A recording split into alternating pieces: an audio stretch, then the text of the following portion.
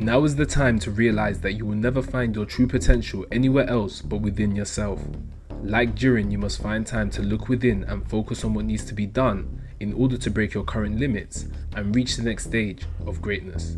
Selfishly working to improve yourself in order to break your limits and help others is one of the most selfless things you can do, and the rewards you receive for doing so, both mentally and physically, are beyond comprehension.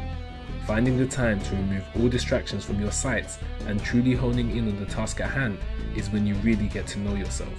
Training yourself to master the small but necessary things that need to be done will allow you to attain the virtues essential for your development.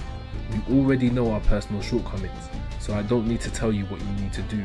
However, what I will say is, even though we sometimes feel that we are trapped in the jail of our own making due to our bad habits, poor decisions, and self sabotage, we must never forget one truly important thing. Although we may put ourselves in this jail, we also hold the key to getting ourselves out. You must use this key to unlock your inner potential, break through your past failures, and reach towards a never ending future of success and greatness. Be like Jiren, someone who realized the importance of looking within in order to achieve a power that only he could see.